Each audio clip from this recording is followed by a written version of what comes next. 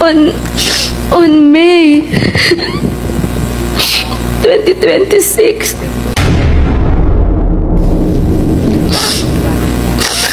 I received a call from the President, Rodrigo Roa Duterte, at approximately 5 a.m., instructing me to meet him at his residence in Tonya Luisa, Davao City.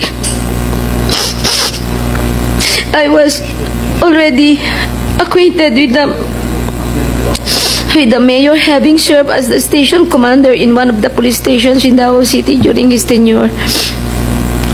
During our meeting, he requested that I will locate a PNP officer or operative who is a member of the Iglesia Ni Cristo, indicating that he needed someone capable of implementing the war on drugs on a national level, replicating the Davao model.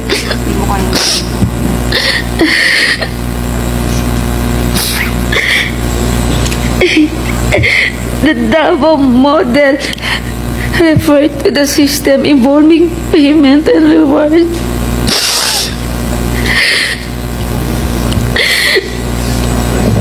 Davao model involves three levels of payment of rewards. First is the reward if the suspect is killed.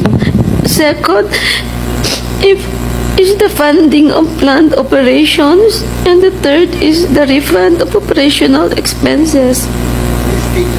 Hey everyone, welcome back to my channel. Today, I want to talk about the importance of respecting copyrights and trademarks when it comes to the content to create. You see, my channel is licensed under the Creative Commons license on YouTube, which means that I'm allowed to use certain anim and other promotional materials under the Fair Use Clause of the Copyright HT law. This allows me to create engaging content for you all while ensuring that I'm not infringing on anyone's rights. It's crucial to remember that all copyrights and trademarks for the anim and other promotional materials are held by their respective owners. So, when you're creating your own content, make sure to give credit where it's due and respect the intellectual property of others. Thank you so much for tuning in today.